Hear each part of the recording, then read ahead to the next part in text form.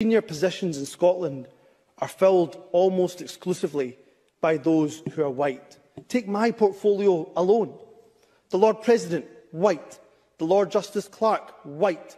Every High Court judge, white. The Lord Advocate, white. The new leader of the Scottish uh, National Party, uh, Humza Yousaf, um, is very obsessed, of course, with identity uh, politics. And this was an extraordinary uh, rant, which many people have described as, as very racist, in fact. And after all, I mean, Scotland is a, is a country that is, in fact, about 95% uh, white or so.